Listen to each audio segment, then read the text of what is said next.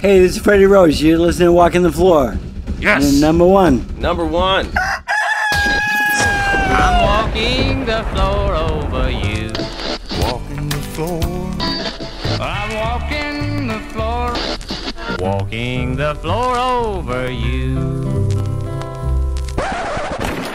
Hola, senores and senoritas, and welcome to this special midweek edition of Walking the Floor. It's a very, very spe- it's it's so special that we had to put it up on Wednesday uh, because I got the chance to interview one of the true superstars of the sport of boxing, Mr. Freddie Roach, superstar trainer Freddie Roach, here on my program today. Um, before we get into that, I have more show updates because they continue to grow. It looks like I'm going to be playing up in Ventura and Camarillo with my good friend Timmy Curran. I don't know if this is official. Maybe I shouldn't be announcing this, but I think it is official. Uh, at the Revo Surf Shop in Ventura, and then also the Revo Surf Shop in Camarillo, and that's going to be December 1st and 2nd. So let's just bring that to a full tally. We've got Mollusk Surf Shop in Silver Lake on uh, November 12th. We've got the Rob Machado Foundation uh, charity event down at um, uh, at the Belly Up on the 15th of November. Now we have the first and second at Revo Surf Shops in Ventura and Camarillo, and then X. We're opening for X on December 18th in, and at the Casbah in San Diego, and then up uh, for New Year's Eve at the Roxy here in LA. So lots and lots of shows coming up in the next couple of months. Please make it out. Most of those are going to be acoustic. The X shows are going to be full band electric. So please, please, please come out and see it. Pick a show. Pick a, come to all of them. Why not? All right, before we get to today's interview, let's talk about my good friends at zZounds.com. zZounds.com, you know them, you love them. They're real musicians over there. They're not uh, they're not salespeople. They're musicians. They play music. So if you need to get some music gear, you go over there. You find whatever it is you need. They have everything, you know, from large and small, and they'll give you the best prices. If you find somebody else that beats their price, they're gonna beat it for you somehow. It's magic. And then they're going to get it, uh, you know, fast and free right to your door with uh, two days shipping on 90% of their orders. It's a pretty good track record over there. zZounds.com. Get to it. All right. So anybody that listens to this show or knows me at all knows that I'm a, a psychotic boxing fan. And on today's show, get to interview uh, boxing trainer Freddie Roach, who is, you know, if you follow the sport at all, you absolutely know who this guy is. If you don't follow it, um, he's a guy who started out as a pro fighter, comes from a family of fighters.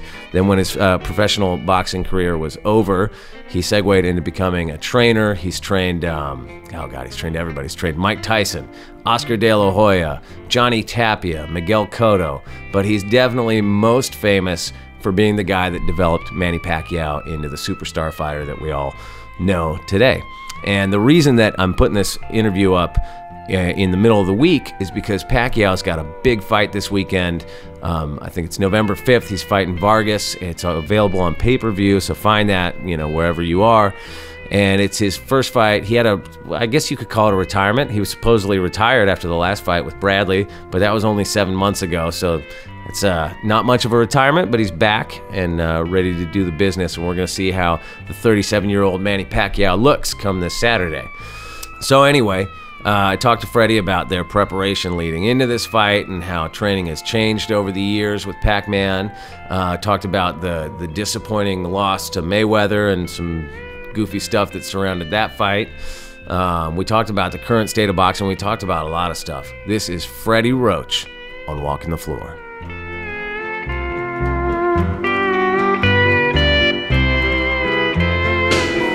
So thanks for having me today. It's uh, it's obviously very busy here, like it always is. Um, so thanks for taking the time to, to do the show. How do you feel heading into this fight, into Manny's fight? Um, I feel really good, man. He, uh, he's really been he's been a little bit different in this camp. He's been a lot more aggressive this, this camp. He's looking really good. He's uh, he's shown me signs of like the old Manny a little bit, and I Aggressive- I, like I, aggressive I like like old? Manny. Uh, with his sparring partners being really aggressive with him and uh, hitting him big shots and jumping on him and you know maybe not trying to knock him out so much but the thing is be very aggressive and um, quick, using his speed, his foot foot speed, and his hand speed together. He's really putting everything together for this fight, and he looks he looks really good. This is the best I've seen him in a long time. Really? Really, I mean, uh, you know. He was going through a mode a little bit for a while that he, he just had to beat his opponent. He didn't have to knock him out or hurt them. And that's really not the fight game. You Right. know, and uh, you know if you can get somebody out of there, get them out of there because you know one punch can change things, and it did happen to us with uh, Marquez Sure. Uh, we we stayed one second too long, and then we got knocked out. And. Right. if Manny had stopped him like he should have in the round before, that, that wouldn't have happened. And so I, I like what I see. Um, I think this guy's in trouble. I mean, this is the best I've seen Manny. His, his punching power is really just getting better, actually, because I Getting mean, uh, better. He's getting used to being at 147, and he's using uh, he's using his leverage and his speed a lot better. And you know, I'm catching him on the mitts in, in the Philippines, and my shoulder is killing me one day. So I mean, I took a day off, and uh, for me to take a day off is really fucking unusual. But the thing is, so I put Boo Boy in there, and he broke Boo Boy's elbow and wrist. So- Seriously? From working the pads? Yeah. Oh my so, God. Um, so then I had. so then- that ever? Have you ever seen that in all your years in yeah, boxing? I was laughing. I said, "You'd be kidding me!" So, I, so I, I'm back on the on the table. He, uh, he, we did seven rounds yesterday in the mitts, and he hurt me a couple times. And uh, but today is probably going to be like a ten round mitt session, and um, I won't be able to sleep too good tonight. I mean, you've been with Manny for a long time now, um, and you know Manny's obviously been fighting for a long time. So how does it change? How does your preparation change, or how has it changed over the years from the time, say, when he was first started working with you till now? How do you prepare differently? When I first started working with Manny, I was really kind of satisfied with him knocking people out with a big left hand, and you know, after a while, you know, we started moving up in weight classes, and we started fighting bigger and better guys, and it was. I said to myself, I says, I got to be a better trainer. I got to, I got to do my job. I got to make him a better boxer, use the footwork, and I, I need a two-fisted fighter. And I worked on his right hand for a long, long time. He was developing that and working with it. And then when he knocked out Diaz with the right hook, it was there.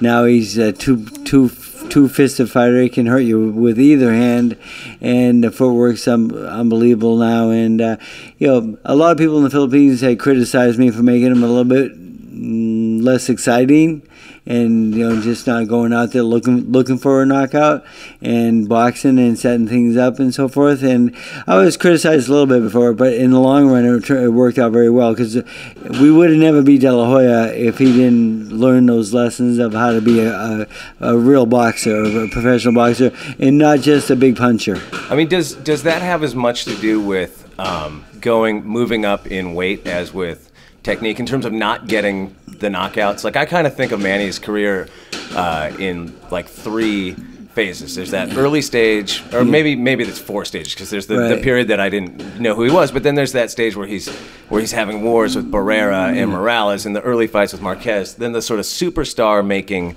tr- fights of De La Hoya, Hatton, and Cotto. And then there's that run, and I wanted to ask you specifically about this, and you're kind of talking about it now, um, when he fought Clottey and Margarito and, you know, Bradley and some of those guys where he what stopped, you know, the knockouts stopped coming. Right. Uh, is that because of un- moving up to like what would kind of be an unnatural weight class for him? Yeah, it definitely. I, I, I- I think his best fighting weight is actually 140 at this point.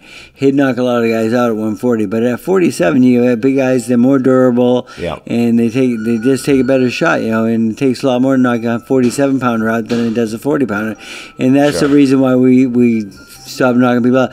And then the change in religion also, in that uh, God has told him that he doesn't have to knock his opponent out. out you know, that he doesn't have to hurt Has anybody. God told him something different for this fight next week? I think so. I, I, you know, the thing is, I don't get into religion too much with him and so forth. But I did tell him. I says, uh, you know, I says he sparred the, the first day I was in the Philippines. I says, wow. I said that's that's really good. I, I really like what I saw. Did he come And- into camp in shape, and, ready to uh, go? Well, yeah. I mean, he was already in camp before I got there. I got there a little bit late this time. And I the camp was in the Philippines for the most part. in, in Manila, yes. And the first time in Manila in a long time, because usually we're in General Santos or Baguio, the altitude or the two two opposite ends. Right. And we're in the middle of this time because he's a senator and he, he he has to do his job. And then when they let him out of work between three o'clock and seven o'clock at night, eight o'clock at night, that's when we train. And then- then you know, but when once Manny comes through the doors, he knows what he's uh, up for, and his, his Sure. work ethic is still great. Yeah, really, really good. Um, do you want to have him stop that? You okay or? I mean, it, we'll definitely hear it, but it's you know it's your call. I don't want to disrupt anybody's. It's up to you. Training. I don't, It's you can live with it. I Sure, can. yeah. So, um, I mean, is there any, any sense of regret with Pacquiao at all that he didn't spend more time at the around 140, you know, doing fights there, where he maybe would have been his most natural? yeah, you know, I mean, we could have stayed there and so forth, but he wouldn't. Have, he wouldn't have had that that, that those uh, those runs of beating the big guys. And, Right, right, And. I think that's a little bit special when you Sure. beat big guys like that. You know, Sure. when um, you know. Um, Manny being really happy going into a fight because he can have breakfast before the fight. It, it, it made a Where difference. he's not killing himself to make weight. He's yes. actually trying to put on weight going. put on weight Right. and then you know so the thing is that struggle of making weight is so overrated to me i, I mean uh, i've moved guys up now like miguel diaz I, uh, miguel Cotto, i'm sorry i moved him up in weight classes so he's comfortable weight and like he'll smile now because everyone says uh, he never smiles he's kind of an asshole Right, He- right, right. i mean i was the An biggest prick in guy, there. i was a prick I, making weight was i was mean Gave me four fights only because i was hungry Right. and I well, had, yeah. had nothing to do with the fights. Yeah. He's just hungry. So the thing is, so you know, with, with Manny, um, we could have stayed at like 35 and 40 and just dominated those divisions, but to win eight world titles in different classes is Historical. to me it's historical because Yeah. it. I don't think that record will be, will ever be touched. Hmm. I don't, and uh, so you know, so Manny's doing really good, and uh, so I see a lot of the old Manny, and then a couple days came like a couple days later, and I, I I said, Manny, what happened to that guy that was in the ring the other day? and he says, uh, he says, I don't know. He says it's just uh, you know. He said, I must be a little tired or something like that, you know, and stuff like this. I said, well, I said, Manny, I'm going to get a psychiatrist for you. I said, because, like, I don't know why you, you're great one day and the next couple of days you're just, uh, just okay. And he said, well, Freddie, I'm not a machine. I says, well, I think you are a machine. we need you to be a machine through So, November 5th. And, and, and, the, and the psychiatrist is me. Right. Because I got to get inside his head and, and make him do this and make him believe in himself. Well, that's that's a real thing. I mean, you know, I never understood that about boxing. Uh, I never took that seriously when you heard guys talking about oh, getting up for a fight and getting up until I think uh, the when Tarver knocked out Roy Jones. Uh, I remember yeah. thinking like that's a good example. of Roy Jones just did, probably didn't give a fuck about that fight and shouldn't have been there. Right. Um, among other things, but uh, but that's a real thing. Like how with all the huge mega fights, man, he's done over the years. How do you get him up for this fight with a guy that's maybe not as well known as you know some of the other guys he could. Right. Well, mm, one thing that lot of people don't understand, you know, Manny knows what's going on out there. He knows what Right. this guy's talking. He knows this guy's talking shit. Manny. Does he pay attention to the Yes. fight yeah. scene? He but he won't he won't make a big deal about it though. But he but it'll it'll it'll sink in. It will sink Right. in. This kid's he's killing himself. Mm. He being so cocky. And then um, I'll talk back to him a little bit and stuff like that. But um, you know, basically, you know, Manny wants me to be nice at press conferences. So. Know, uh, okay, I, I understand that. Sure. You know, Manny's got a good reputation, so forth, and he'll do the fighting, and I, and I don't have to. You know, Right. I don't, I don't really have to motivate him because they've already motivated him. Right. And um, so, you know, yesterday, I mean, we're getting close to the fight, and we had a couple days of uh, bad jet lag. Mm. And we had one day off. We had the next day little sluggish. The next day he's feeling better, and then we sparred yesterday, and it's okay. Now, right now, I want you to take your gloves off, and we're gonna shadowbox and loosen up a little bit. He said, "What about the heavy bag and the speed bag and so forth?" I says, "We, we just peaked. You, you're at your top right now. I don't want you to do anything extra. Don't go over. I mean, I don't." You, to get the guy to peak, I mean, once you get him there, but once you go over, over, it's tough to get it back. So I mean, that's a real thing too in, No, in preparing for a fight. How do how do you how do you figure that out? Yeah. How do you know when a guy's peaking? you have to know the fighter. You know, Right. the thing is, and we've been together 15 years, so I know like. I know what kind of day he's going to have when he walks through the door. It's going to be a good day or a bad day Hmm. because I can see uh, a smile on his face, maybe not a smile on his face, or him a, little. Does he tired, still enjoy the, the the the training? Does he still enjoy the prep? Hundred percent, yes. This is what he does best. I mean, his he trains better than any fighter I've ever had. I mean, I've had some good, good fighters, but nobody's nobody can come close to him. So yesterday he's shadowboxing and stuff like that. And we're taking some pictures with some. Uh, um, you know, Bob Arum brought some people in, and uh, I had a couple guys from South Africa that wanted to meet Manny and so forth, fighters. So we took a couple pictures and stuff like that, but we didn't do much after after the sparring. We just kind of shadowbox and maintain it. And now today will be a kind of a. I'm gonna try to make it a light day. Just really use just speed, a lot of minute work and so forth. Then I'll box again on Saturday, and it'll just go a couple rounds. And depending on how sharp he is on Saturday, Monday might be our last day. Right. Um, but I don't think we're gonna box on this Monday. We usually do a last day of sparring on Monday, but this time I think we're already there. Mm. So I don't. Again, I don't want. I don't, I don't want to overdo it. It's just.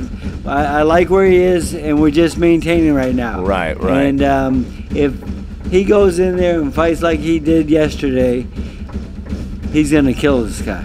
And w- Uh, he will knock this guy out. Assuming he has a great fight on the fifth, um, what does he want to do next? You know, I know that there was talk about him retiring after the last fight, and you know it's only seven months later, so it's pretty much like he was never retired. It's almost like a quick return to the ring for a top level boxer nowadays. True. So, what, where does he want to go uh, after Vargas? You know, I think Mayweather is the biggest thing out there right now. I still act, uh, you know, Who's Manny- also theoretically retired, right? Right, but Manny, you know, Manny thought he won that fight. Uh, Yeah. I didn't, but the thing is, I wa- I was very disappointed in the fight, and I know Manny can fight a much better fight, and I know Manny can beat him, um, and that's His shoulders in good shape now. yeah, uh, no complaints, no nothing. Right. Everything's healthy.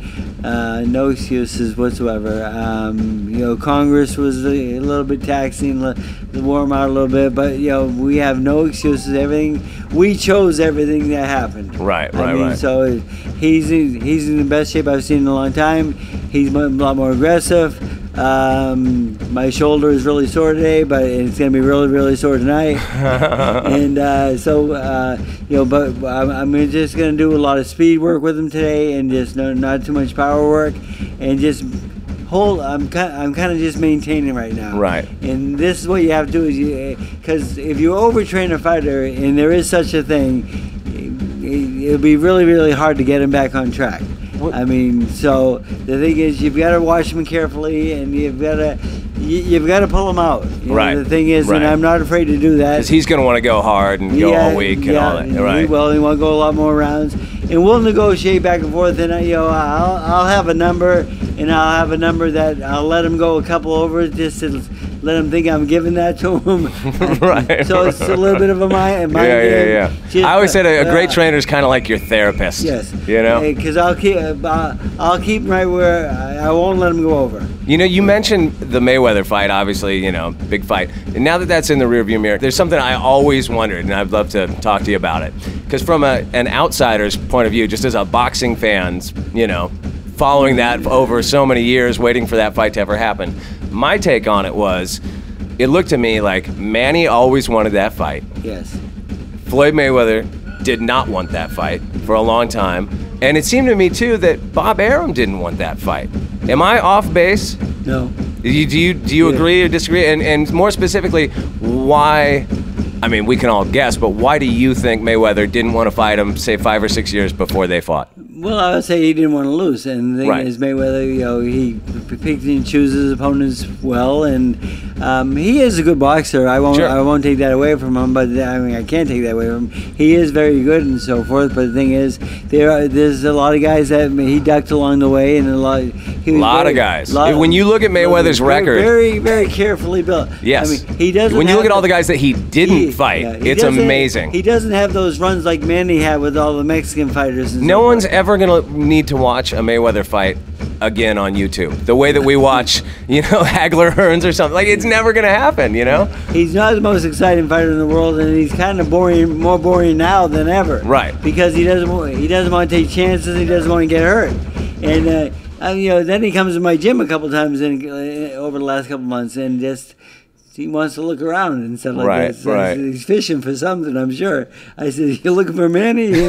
I mean, how much of, of what he does but is just. not- he- I've always heard he's a great guy in he's a- person, but, but you know, why? Yeah, because like he comes up to me, hi, Mr. Roach, how are you? I- yeah, I always hear he's very polite. Hmm. But I've known him since he was like five years old when he was training in the gym. Sure. And um, he's always been. Uh, he's me and him are okay.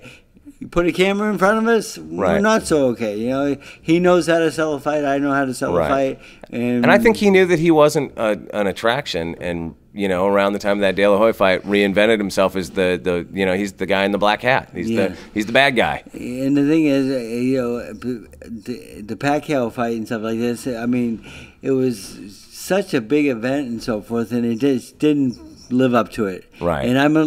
You think they'll I'm- get a chance to- I'm a to go again? I'm a little embarrassed about that because I, you know, I'm as, uh, my fighter didn't do what I thought. What I think he should have done, and I can do a better job, and he can do a better job, and we can we can beat this guy. Well, there was that thing that week of that fight, and I always wondered why this wasn't a bigger scandal where Mayweather got injected with vitamin saline shot and got an exemption, and then they wouldn't let Manny get a shot in his shoulder to deal with the pain with a with a substance that wasn't a banned substance. Why wasn't that with all the rumors surrounding Mayweather being a dirty fighter all these years? And there's a lot of them. I mean, I would encourage anybody listening to go read that Thomas Hauser article that details it pretty well. Um, and I also don't want to get sued, so I'm not going to say that that's absolutely true or anything. I'm just saying it's the big rumors out there. Why wasn't that a bigger scandal? Yeah, it it, it wasn't a bigger scandal. It was kind of, uh, you know, we we had that all set up for Manny to get that shot in the locker room, and um, I was kind of hesitant about that, and I, I said we should have it in, maybe in his hotel room, you know, but they they wanted it because the shot doesn't last that long. So the thing is, they wanted to do it as close as possible. Mm. Sure, Everything's sure. set up and so forth, and then the commissioner comes in and looks at it. To, ta- what's the table for? Oh, Manny's going to have a shot there. What shot is that? I said, wait a minute, you you've already okayed this. And then we, I talked to the doctor, and he's he says to, the doctor says to him, "You okay this?" And uh, what are you talking about? The guy just played dumb, Hmm. and, said- and they took it away from us and wouldn't let it wouldn't let it go. Um, I mean, is that a normal thing? Have you seen that before in in professional boxing? Somebody getting an injection like that right before a fight? Is that a relatively normal thing? not normal, but It, happens. done. The thing is, Right. uh, but the uh, when you do something that close to a fight, you're just getting a pain, uh, me- uh, pain, pain medicine. You're not taking a steroid or anything like that. It's nothing that's going to enhance Sure. your, your your fight and so forth. Well, why do you just- think Mayweather gets the exemption and you guys don't? I mean, that, what's that that was the big issue, and Right. then so now everyone's kind of arguing back and forth and blaming everybody. and his was a banned substance, was it not? Yes. Yeah. But the thing is, so he gets hand injections. We can't do our shoulder injections. And I says, you know what? The, he's fucking bigger than us. And Mm. I mean, he controls this commission a little bit. I think you know, it's just like The Las M- Vegas, M- it's just like Nevada the MGM commission. having his pictures up while Pacquiao's fighting the main event. You Right, know? It's just, right, right. yeah, I mean, the fight before, you know, and Bob Yeah. goes crazy. yeah, that was pretty funny. But you know, uh, but I think that uh, I think Mayweather has to deal with these people. You Sure, know? The thing sure, is, sure. Uh, and mm, you know the thing is in sport and you know you can't trust anybody because um, people will do anything to win and that was that was a factor in this one and we kind of got fucked in that one I mean, you've been around the sport for a long, long time as a top level trainer, and of course before that as, as a fighter. Um, can you reflect a little bit on what is the difference in the sort of the business side of boxing from, say, that golden era in the late '70s through the you know early '80s compared to now? And um, again, this kind of ties into what we were just talking about with with fighters not facing each other? I know you have rival promoters, rival uh, networks, all that sort of thing. But why don't the fighters take a bigger stand? Why don't they? Because as a fight fan, it just seems like, and I don't know if this is true. You would know. It it just seems like nowadays they don't want to fight the biggest challenge necessarily. Yeah, true, but I, I don't think any fighter in the world is scared to fight another fighter. Right. Because that's just not the way I was or anyone I know was. I mean, they. But they're afraid to lose their We will fight anybody, record. but we will fight anybody. Right. And then, you, but then you get like Mayweather, who gets to a point where he's almost like breaking somebody's record, where he's going to be very careful about Sure. who he who he fights and chooses. But it's more the it's more the promoter. Right. I mean, you know, they're not going to put the, uh, Canelo in with Pacquiao because, or anybody because he's their biggest cash cow, Right. And he's their last cash cow. Right. Once or he loses, Triple G for that matter. They're not going to put him in with Triple G no, just yet, Because right? once he loses, there's no more money. Right, I mean, right. now they can put him in there with a lot of opponents. well, why do you think people didn't care about that as much? You know, in the era when when Sugar Ray Leonard and, and Hearns and Hagler and Duran, all these guys were fighting each other, it seemed like all the time. I think and all the other guys that were just underneath that. You know? You know, is a better era of boxing, and the thing is, the, the promoters, no matter how much they hated each other, they promoted fights together. Right. I mean, Don King and Arum hated each other, but they still promoted fights together. Hmm. I remember Arum's got a show going on, and Don King's got one of his fighters in the show. Don King goes to get up in the ring, and Bob don't want him in the fucking ring. I see Bob run over, grab him by the back of his coat, and tore his coat right off his back. I said, "This is fucking." That's like great." some professional said, wrestling action is- right this there." is great. This is, you know, this is, but the thing is, That's a good you know, show. But the thing is, they made the best fights, and Right. that's why boxing's not number one right now. And maybe MMA might be taking us over right now because we don't have the best fight in the best, and we need to do that. We really do. I mean, the thing is, Al Haymon and all these guys, they. They have to get along. I mean, they, they got to start promoting because if you don't have the best fight, the best, I mean, it's going to kill the sport. It leads me to the question though: Do the people that run boxing, and I mean the executive class that Mm-hmm. runs boxing, the executives at um, at you know the networks and the big time promoters, do they know fucking anything about what the fans want to see or, or care for that matter? Mm. Because as a fight fan, when you see somebody like I don't know, like Erislandy Lara or these guys get shot after shot after shot, you're like, no one's ever going to care about that guy. Those- Why is he on TV? Those guys aren't good matchmakers, and in the past we've had guys that work for TV stations that were that were good matchmakers and knew and knew the fight game. So, um, uh, you know, the thing is, the the game has changed a lot, and uh, uh, again, the the politics of it, and the uh, you know the, the the different promoters now, and every everybody like. Um, just being a little bit too careful, I think, and so forth. I mean, and, I'm a fight fan to the bone, but it they they sure make it hard They- to, I mean, to thing stay a fight fan. Yeah, uh, to me, like you know, the era of the '70s, the early '70s was fucking unbelievable. Everyone fought everybody, Right. and so forth. And now nobody's fighting nobody, and uh, you know that. We do have the, uh, MMA coming in and making Mm-hmm. a lot of noise there. And the thing is about the MMA people is that they have to fight each other Right. because they have no choice.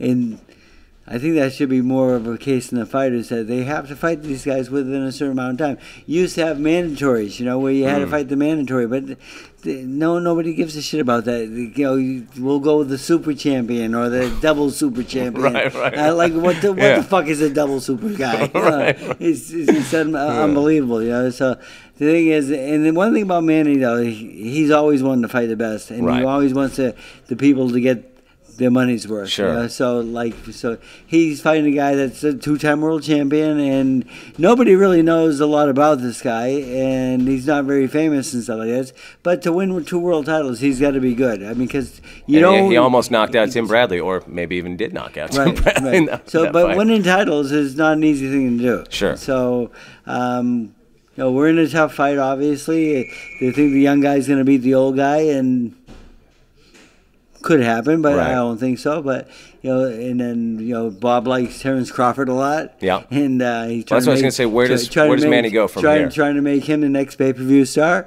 Right. And you think like- that's that'll be his next fight? Maybe him or Possibly. Lomachenko or one of these guys. Lemonchenko, I love, but the thing is, I think he's too small. Right. But the thing is, but the, someone someone mentioned that yesterday. But it's uh, it would be a great fight, and I've seen him train here and so forth, and Manny would destroy him. But you know, Crawford, but you know, Terrence Crawford is a good. He's like a young Mayweather who can run a little bit and so Right. forth, and Manny can cut the ring off and find him. But it, it'd be a difficult style fight. But Sure. the thing is, uh, I mean, the thing is, we Manny will not turn down anybody because I mean Right. he'll fight whoever the best guy is and whoever the people want him to fight because Manny is fights for the people. I Right. mean, and just like he fights for the people because he fights for his he fights for his hometown people also, and he fights for his country. Right. You know, because he's a, he's a very very good good person. Yeah. I mean, he's And is he is Not he still beloved at home now that he's been in politics for a while? Because I Yeah, imagine know- that could have a corrosive effect on your Yeah, reputation. It could, but he's still very loved at home, and, and uh, you know the thing is about politics.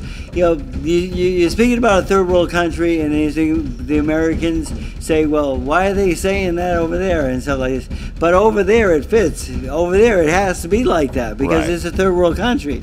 I mean, over here, it's a little bit easier. I mean, America's a lot better, you know, better off than the Philippines is. I mean, what's it, 300 million homeless people in the Philippines? I, the Really? number's outrageous. Wow. Like I said, you'd be kidding me. Yeah. But you know, when you walk the streets, and like I did for the last month, and uh, you see them every day, and it's like, just, it's a it's a poor place and so forth. But Manny wants to improve it, and Right. the, the thing is, he is genuine with it. He does. He'll spend his own money. He will be broke. Probably for the rest of his life, because he will give his money away and he will give it to the people. Really? Not because he'll spend. He won't spend it himself. He will give it. He's a. That's how generous he is. really? Mayweather might go broke spending his money in gambling. Mayweather, Manny's the complete opposite cat. He just Yeah. he just doesn't work like that. I mean, he grew up so poor, he, you know, selling donuts at the red lights and so forth. Right. And, I mean, he knows what it is to be poor. I mean, Sure. and not everybody in America knows that. You know, we have welfare and stuff like that. Over there, you know. Yeah. If you don't have a fucking job, you're fucked. That's all there is to it. Right, You, right. you got no choice. Like someone said, why would someone eat a dog? I said, well, he might be hungry. I said, you know, because like th- that's the- that hungry. That's the last choice. Right. I mean, it, but that's the way it is. I mean, it's really, it's how it is. I mean, everyone says to me, Freddie, why don't you like retire and re- come to the Philippines and live a good life and so forth? You know, and I say to him, it's not that nice here. you know, I mean, to be honest with you, like, Yeah. you know, America. I'll stay in LA. America's the best place in the world. Right, I mean, we take a lot of things for granted. Sure. uh, and a lot of things like what the president says and what Manny agrees with the president and so forth, you know, that's all. The issues are so different there than here. I mean, they ha- they might have to Well, do we, we have there. our own circus going on this year. In this year, I mean, is this really the two best people in the world? right. Give me a fucking break. Right, Jesus Christ. I mean, I'm, I, I, I couldn't pick either one. Right. So, yeah, no, I believe know, you me. I'm in the same boat. but, hey, you know, they, they tell me they asked me the other day if Donald Trump could beat up uh, Biden in a fight. So I did. I did pick him to win, but but everyone tells me I better be careful because Biden. They say Biden is in like pretty good shape. I don't know. Yeah, I'd go with Biden on that Oh, one. yeah? Yeah. Oh yeah. 'Cause, Look, you know- he seems meaner to me. Because yeah, he, the other guy's kind of a street guy in New Jersey. You know all those. Yeah, I don't know. I don't know. but uh, bad here too. You take away his bodyguards. I don't know. I think Biden's got that fight. Okay. we'll I- see. I went the other I like way. it though. That's a good fight. That's a good pick 'em fight. Yeah, yeah, yeah. You know, one last thing. How do you, uh, as a trainer, you know, boxing's a strange sport because it's not like you know a professional sports team that can rebuild as you know the athlete's age or whatever. How do you find the next Manny Pacquiao? Are you going around to amateur fights? Are you scouting like that? I mean, you're so well known. I imagine people would probably just come through your door every day. they come and I, I you know, and I'm I'm looking and you know, but the next Manny Pacquiao is that's a dream. There's there's no such thing. I mean, but I did build this gym for one reason. I said, you never know when the next Muhammad Ali is going to walk through your door. Right. You know, and then uh, less than six months later. A really small one did. 122 pound Muhammad Ali came walking through your door. Walking through my door and asked me, "Can we do mitts?" And I said, "Yeah, sure." So after one round, eh, we we had it was there. We just went together, you know, and Yeah. uh, it's been great. And together for 15 years is unbelievable because Hmm. usually you know I, I would have been fired like five times by now because he lost a couple fights Right. and didn't win them all and somebody Yeah, boxing trainer, that's a high But turnover man- gig. but Manny doesn't blame people he blames himself because he's the one in the ring Hmm. Yeah. he's a really I mean he's a very very good person I mean he's he's like the best guy I've ever met in this sport I mean Hmm. Yeah. he's really a good guy and he's changed my life I mean the thing, uh, but the thing is I mean I am waiting for that next one to come. I, I have a couple young prospects, good guys and so forth. Mm, Got little problems with them because talented people always have problems. Are you talking about Frankie Gomez by chance? Of course. you know, is, is Frankie Gomez going to get to that level, or is he going to be the next Francisco Panchito Bojado or whatever? You know what I mean? Yeah. Which is like such a common thing in He boxing that you weighs- see these guys with all the talent that don't kind of keep he it weighs together. 180 pounds now, and I he has been in the gym since I left. Mm, Yeah, when we're together, it's great, and he's Yeah. a very talented guy. But um, uh, yeah, I don't know. I think he, he he might end up one of those, one of those people. You know, Right, he's right. the he's the king of Boyle Heights, and I think he's satisfied with that. And um, there's so much more out there. I think. Right. But, you know, it's it's how it goes. You know, um, you know, guys like Manny Pacquiao, they're rare, very Right. rare. So, but I, I, I am still looking though. Well, you know, normally on my podcast, I interview other musicians. Um, and normally at the end of the, of the interview, they, they play and sing a song. So, what song are you going to sing for us today, Freddie? I'm the worst singer in the world. the only song I know is Happy Birthday. Yeah, that'll work. Um, dude, thank you so much. I know it's a very busy day, and I really appreciate you talking to me. So, they, are you still uh, in Seattle?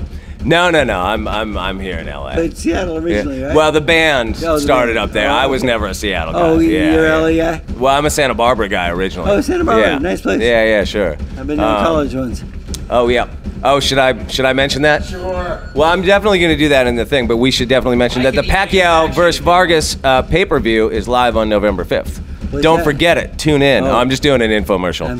Hey, before we uh, before we, uh, we wrap this up, could you just say, "Hey, this is Freddie Roach, and you're listening to Walking the All right, that was Freddie Roach, uh, superstar boxing trainer, trainer of Manny Pacquiao, among others. Make sure you tune in on uh, Saturday, November 5th. That's this Saturday to see Pacquiao's fight with Vargas, see where he's at now that he is no longer retired. That's probably the shortest retirement in boxing history. I think it was like seven months. Anyway, we'll be back. We might have actually one more special um, uh, walking the floor episode this week, and if whether or not we do, we'll be back next Monday, um, regardless. And while you're uh, missing us, make sure you go and subscribe to Walking the Floor in the iTunes store. It really helps the show out a lot, keeps it free. Go back and listen to those old episodes, and we'll talk to you soon. This is Chris Shiflett on Walking the Floor. Adios, amigos.